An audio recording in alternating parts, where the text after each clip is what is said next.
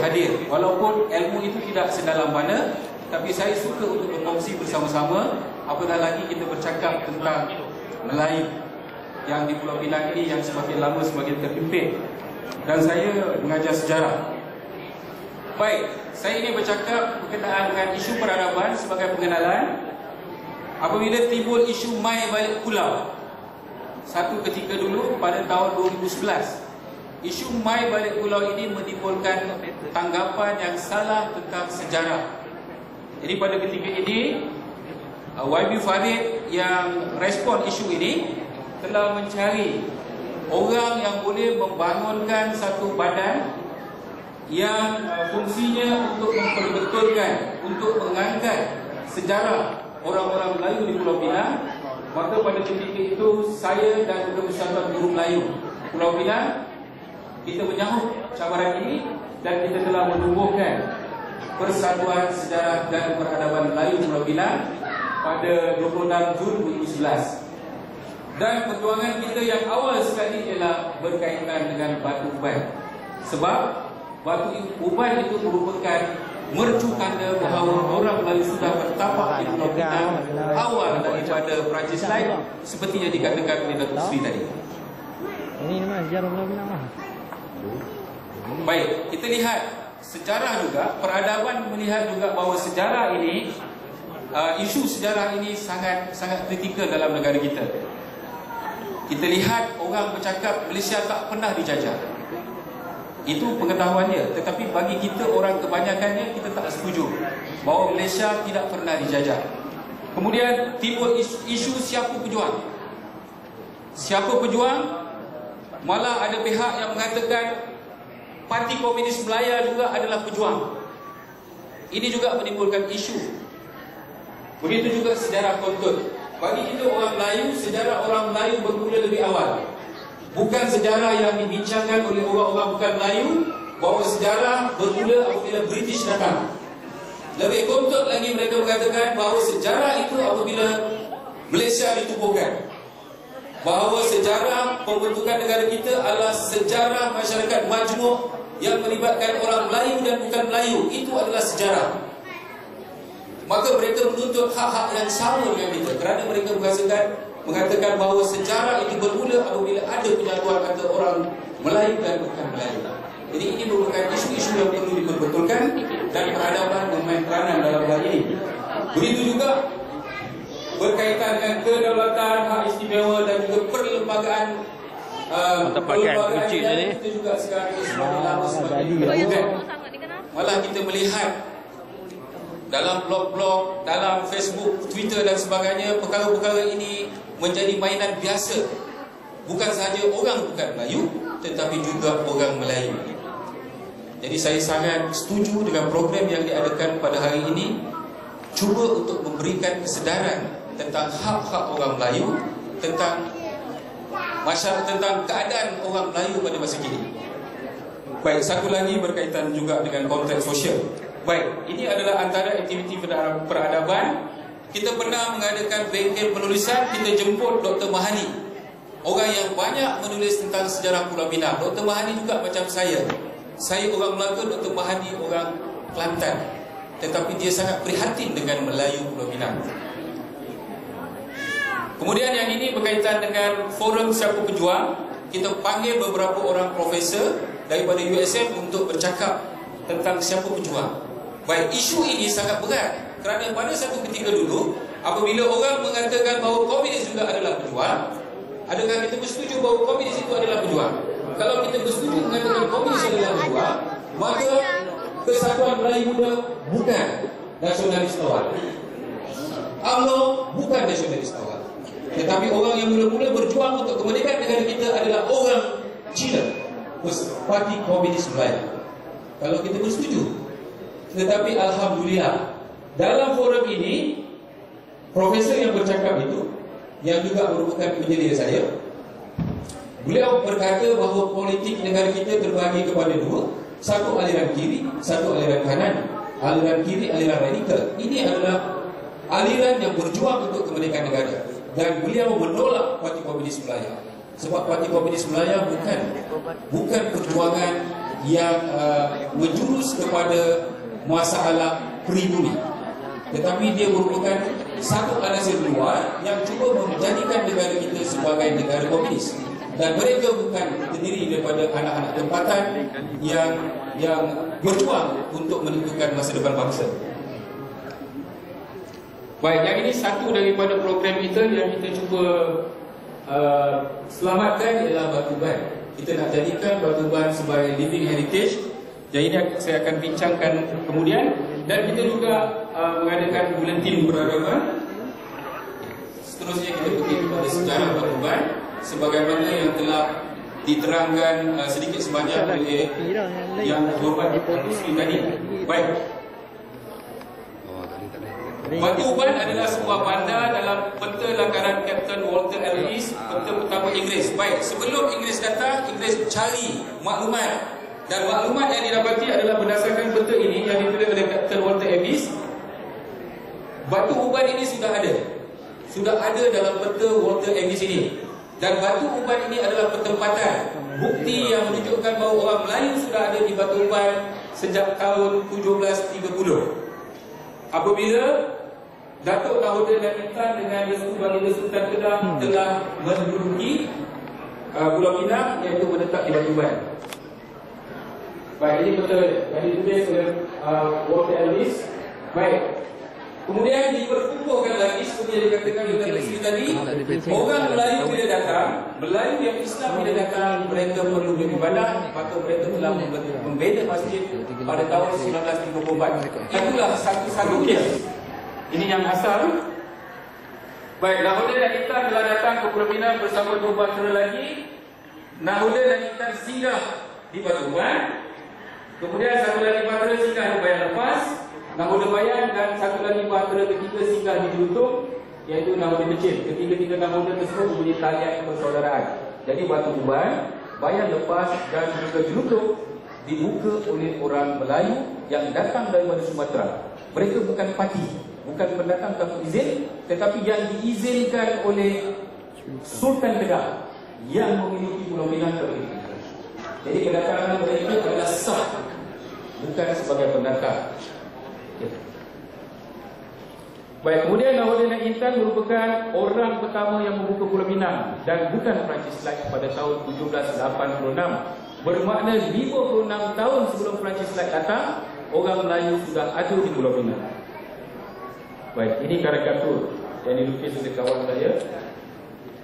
Melihat patung ini, jadi kita sebenarnya tak usah kagum dengan uh, uh, patung ini sebab yang ini mengingatkan kita bahawa patung ini merupakan uh, kesan penjajahan terhadap kita. Baik, jadi maka Batu Uban adalah pertempatan pelabuhan dan tempat bersejarah yang pertama sebelum bermulanya era penjajahan Pulau Pinang pada tahun 1786 Masihi. Sejarah dan peranannya boleh dijelaskan seperti berikut. Kepentingan Batu eh? satu uh, yang ini maksudnya Batu Uban lebih awal dibuka. Kemudian pembukaan Batu Uban merupakan uh, kurniaan seperti yang saya katakan tadi Bukan dibuka tanpa restu sultan Kemudian uh, pembinaan masjid menjadi bukti Dan juga Batu Uban menjadi pusat metropolitan yang menghubungkan Pulau Pinang dan Kedah dengan kawasan-kawasan lain Di Sumatera, India dan Haramau Ini kajian yang dibuat oleh Profesor uh, daripada Universiti Petronas Ahmad Marikan. Profesor Ahmad Marikan ini membuat kajian dan dia mendapati bahawa Batu Uban satu ketika dulu merupakan sebuah pulau. Pulau yang menghubungkan antara Pulau Pinang dengan uh, pelabuhan-pelabuhan uh, di utara dan juga di Sumatera. Jadi Batu Uban merupakan pusat yang sangat penting pada ketika itu. Kemudian Batu Uban merupakan pusat aktiviti bagi kawasan Telugu dan sekitarnya dan menyumbang kepada perkembangan budaya dan ekonomi bagi kawasan Tanjung. Jadi Batu Uban merupakan satu kawasan penting. Okay.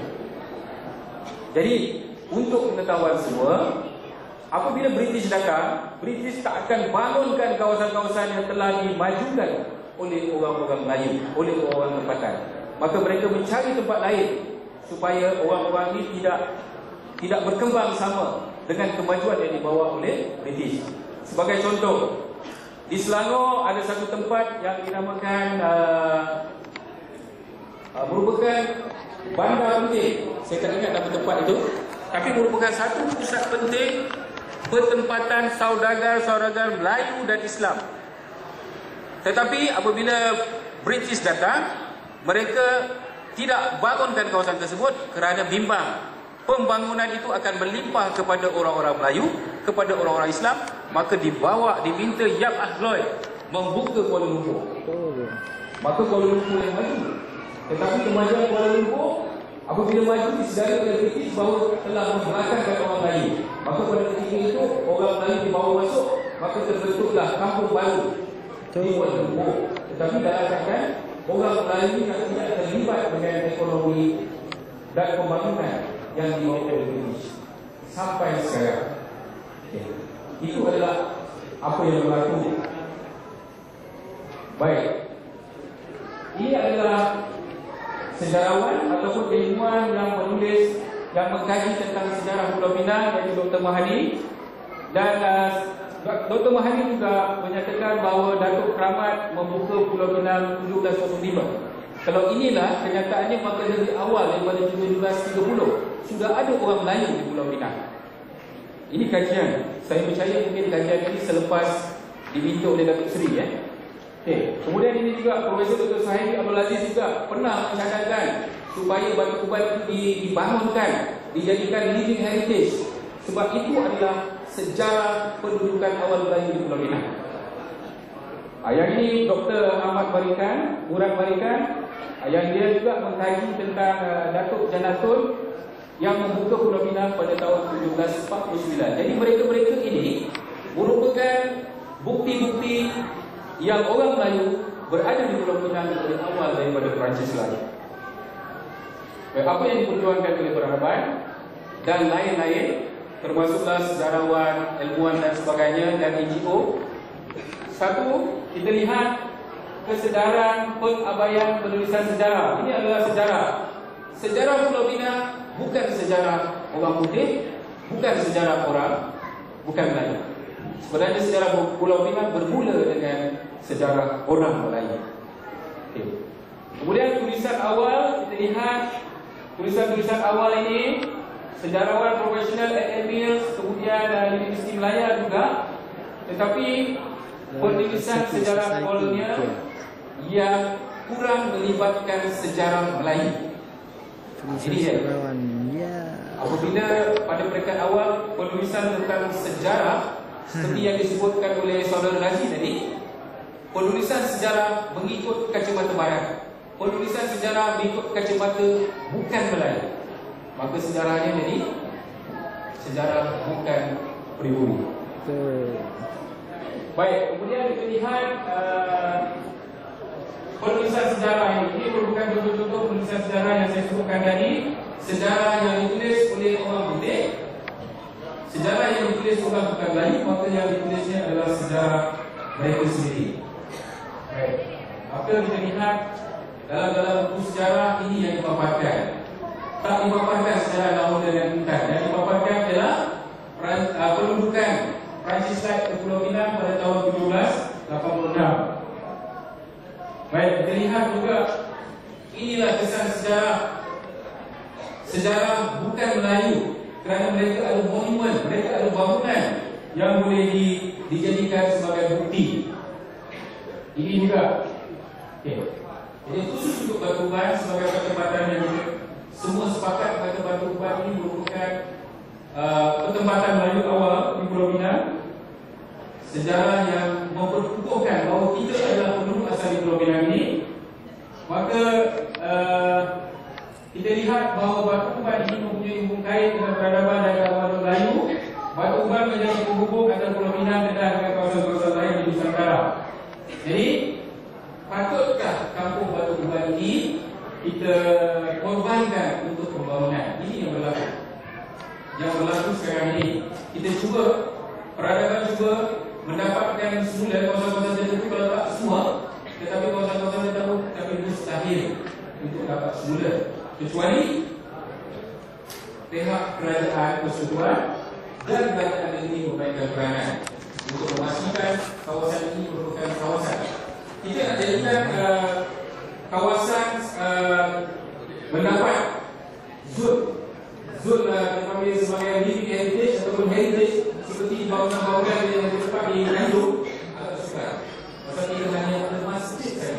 yang